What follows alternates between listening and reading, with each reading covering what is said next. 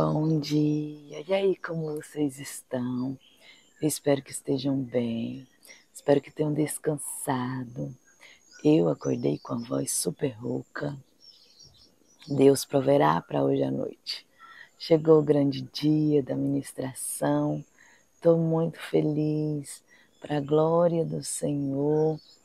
Estamos aqui né, para fazer esse trabalho lindo que é o trabalho infantil. Louvo a Deus pela vida do meu irmão.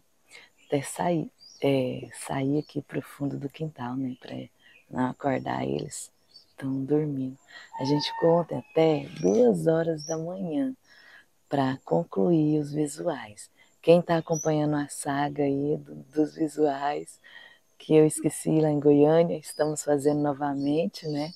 Então, estão acompanhando aí. Então, estou postando né, nos stories.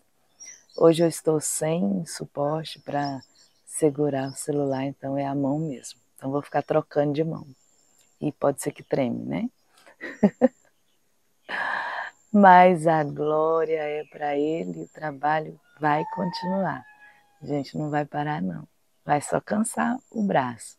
Mas vamos postar o devocional é, Café com Deus Pai para a glória do Senhor.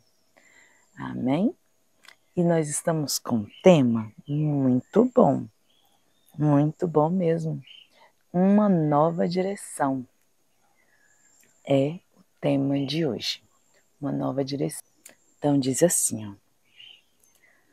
A vereda do justo é como a luz da aurora que brilha cada vez mais até a plena claridade do dia Provérbios 4, 18. Então, nossa vida, é, nós precisamos nos santificar todos os dias e são processos, né? Tudo é processo. Nada acontece de uma hora para outra, nada acontece da noite para o dia. Tudo é processo. Esse versículo me faz lembrar, eu me lembro muito, assim, com muito carinho, da missionária Eunice, uma grande amiga minha, que, dedicada à obra do Senhor, sofreu um acidente e ficou muito tempo na cama. E todos os dias que a gente ia visitá-la, ela orava com a gente e recitava esse versículo: que a vereda do justo é como a luz da aurora, que vai brilhando, brilhando, brilhando até ser dia perfeito. Então ela sempre falava isso para mim e eu ficava muito feliz, sabe? Então ela sempre agradecia pela visita, pelo cuidado que tivemos com ela e me veio à memória essa doce memória da missionária Eunice. Por sinal, estou devendo uma visita, preciso ir visitá-la. Logo estarei indo em nome de Jesus. Então vamos lá? Olha só. Diz assim, ó. Desde que nascemos, durante todo o nosso processo de desenvolvimento, somos submetidos a escolhas que a longo prazo impactarão a nossa vida. Por isso, é muito comum que os pais, buscando o melhor para os seus filhos, os eduquem para que tomem as melhores posições, decisões, de modo que seus caminhos levem a uma abundante vida com Deus, né? Então, é obrigação dos pais levar seus filhos a ter é, esse relacionamento íntimo com Deus.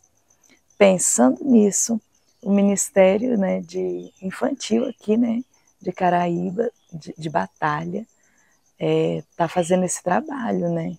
Juntamente com os pais. Isso é muito bonito. Então, cada pai levar. E, e eu sou muito feliz com as igrejas que investem no trabalho infantil, porque tem muita igreja que não investe nesse ministério, né? Ministério infantil. Eu louvo a Deus pelas igrejas que fazem esse trabalho o, o pastor Júnior, ele diz assim, eu sou pai de dois filhos biológicos, o João Pedro e a Isabela.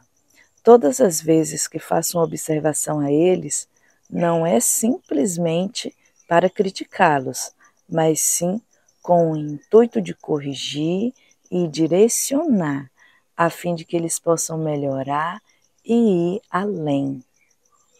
Com Deus não é diferente. Ele deseja que trilhemos o caminho certo. No entanto, muitas vezes preferimos os nossos próprios caminhos e fazer escolhas com base naquilo que achamos ser melhor. Né? É, eu também sou mãe de dois filhos, né? o Gabriel e a Débora. E a gente já corrigiu quando era criança, ainda hoje, né? A gente vê, já são adultos, um tem 25, vai fazer 25, né? Um tem 24. E é assim. Aliás, é, tem 25. Gente, minha filha tem 25. Vai fazer 26. Então, o tempo tá passando. Eita Deus. Eu também sou mãe de dois filhos, né, já adultos, e foram criados, foram ensinados e por muitas vezes chamados atenção com esse intuito de é, levá-los eles a trilhar o caminho certo, a estar na direção certa, né? E quando a gente ama, a gente faz isso, a gente corrige nossos filhos. Olha só. Quando jovem, eu não via nenhum caminho até conhecer Jesus minha vida se resumia a escassez, vazio, dificuldade, medo e rejeição. Mas a partir do momento em que eu entreguei minha vida totalmente a Ele, aquele ciclo começou a mudar. O fato é que as coisas não mudaram da noite para o dia, mas o Espírito Santo foi me transformando, um passo de cada vez, com avanços diários e constantes e pequenas entregas Aliás, isso permanece assim até hoje. Né? E é assim, é o que eu falei. O processo de santificação é todos os dias, é diariamente. Não é da noite para o dia. Nós nos santificamos todos os dias. Todos os dias nós re, nos renunciamos, né? Todos os dias. Olha, quais caminhos você tem seguido? Aonde eles o têm levado.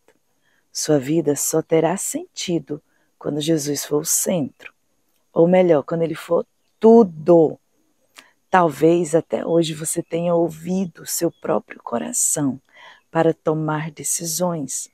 Contudo, eu o convido a ouvir e obedecer à nova direção que Deus está apontando para a sua vida a partir de hoje. Glória a Deus, glória a Deus. Então, a nossa palavra-chave de hoje é essa.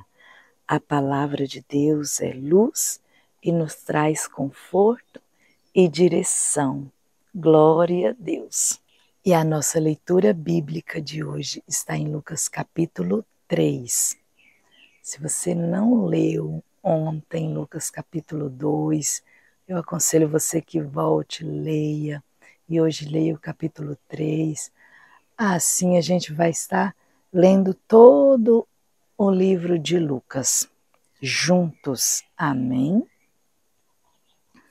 A nossa palavra-chave de hoje não podia ser outra, mas direção. Então, qual direção você está tomando? Qual é, Quais são as decisões que você está tomando? Quem está dire direcionando sua vida? Hum? Vamos refletir sobre isso, vamos analisar, está sempre fazendo a autoanálise da nossa vida, amém? Vamos orar, agradecer ao Senhor. Hoje o vídeo vai ser mais curto, porque estou sem tripé, gente, meu braço está doendo. É a minha garganta também está precisando ser poupada. Senão não vou dar conta de pregar no culto. Ai, Jesus, mas é uma maravilha. Eu sei que na hora Deus faz. mas a gente precisa entrar com o nosso. A gente entra com o nosso ordinário e o Senhor entra com o extraordinário. E eu já orei hoje, falando com o Senhor, para Ele agir é, neste evento, né, neste trabalho tão lindo. É o trabalho infantil, para mim, é o evento. Eu amo o trabalho infantil. Vamos orar? Deus Pai, muito obrigada por essa manhã gloriosa. Obrigada pelo descanso que o Senhor nos concedeu. Te engrandecemos, exaltamos o teu santo nome, Pai. Obrigada por estar conosco até agora. O Senhor tem sido nosso refúgio, fortaleza, socorro bem presente na hora da angústia. E eu só tenho motivos para te engrandecer, só tenho motivos para ser grata a ti, Senhor. Deus querido, posso acordar, ouvir o cantar dos pássaros. Meu Deus querido, posso contemplar a tua natureza, Pai. Isso é tão incrível para mim todos os dias, meu Deus. Muito obrigada, Senhor. E nessa manhã eu quero abençoar os nossos amigos que estão assistindo esse vídeo, Pai. Tão simples, meu Deus. Hoje nem tripé tem, Senhor. Meu Deus querido, mas sai daqui, Senhor, da minha alma, Jesus. Eu te louvo, eu te bendigo, Senhor. Exalto o teu santo nome. E eu quero, Senhor Jesus, abençoar os nossos amigos que têm sido apoio para mim, que tem, Senhor, compartilhado esses vídeos, que tem é, comentado, curtido, Senhor Jesus. Meu Deus querido, quantos têm se inscrito no canal? Pai querido, obrigada, Senhor, pelo apoio desses amigos e que a bênção, que a plenitude do Senhor esteja sobre esta casa agora, em nome de Jesus. É para a glória do Senhor. Aleluia, glória a Deus. Obrigada, Jesus. Muito obrigada, Senhor. Obrigada por você permanecer comigo até agora.